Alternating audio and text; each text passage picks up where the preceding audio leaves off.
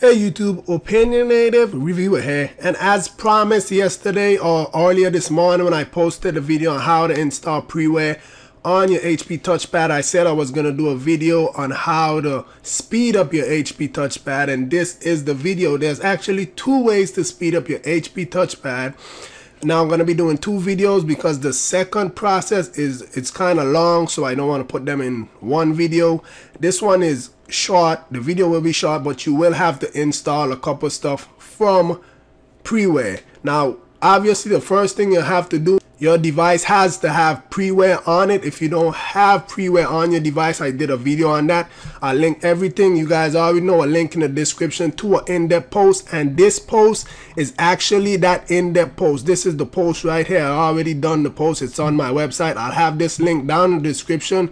And as you can see here tells you the first thing you need to do is have Preware installed on your device.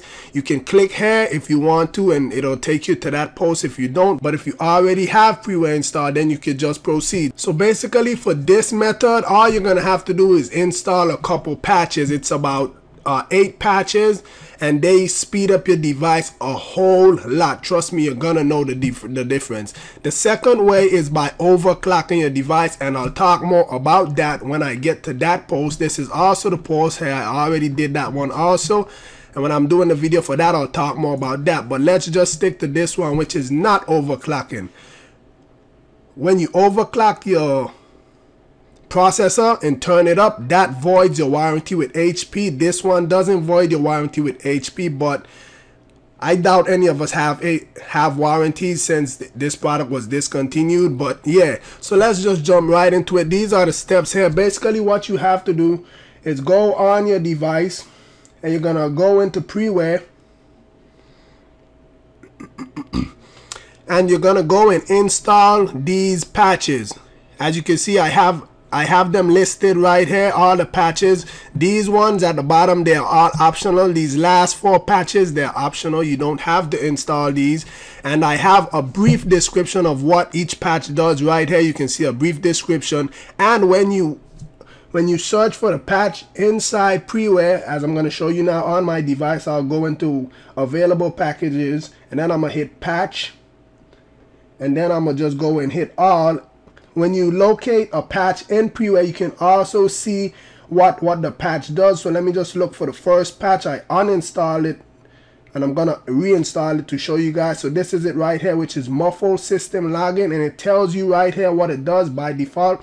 WebOS tends to log pretty much everything. This patch turns logging down so that it only logs errors or worse. So yeah, that's basically what slows down this device. It has so much thing running in the background that's logging everything, like so much of them that it just slows the device down and it's not needed. So most of these patches basically disable all of that logging which isn't needed and it just logs what's important, what's really important. So these are the patches. This is the first one. Let me just install it for you guys you just hit the install button it's super fast and then it's gonna prompt you to do a Luna restart. Last night I, I explained what a Luna restart is. It's basically like a respring. When you install a tweak from Cydia and you have to respring that's basically what a Luna restart is. It's like a minor reboot. So all you gotta do is you can click later or you can click yes if you have more than one patch to install like you most likely have to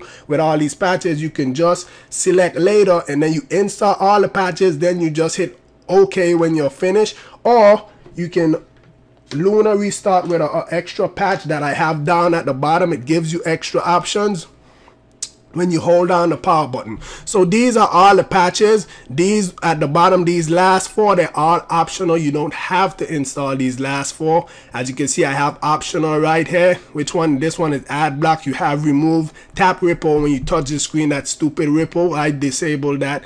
This is increased touch sensitivity. This basically speeds up scrolling. And this last one is the advanced reset options. As you can see I have a little picture of what it looks like so you can Luna restart from here.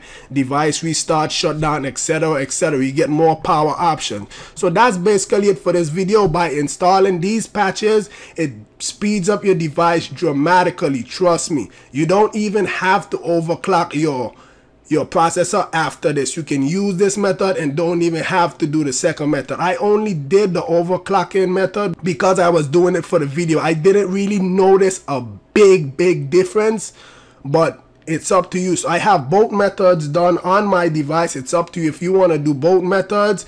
It's either or, or you can do two of them. They're both safe.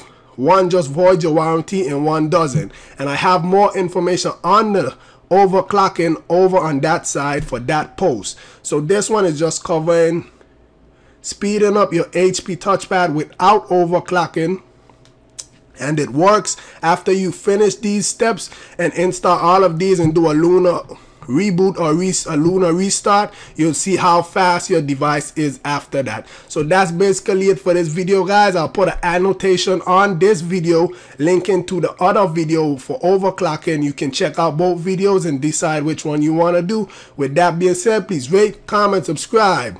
Have a nice day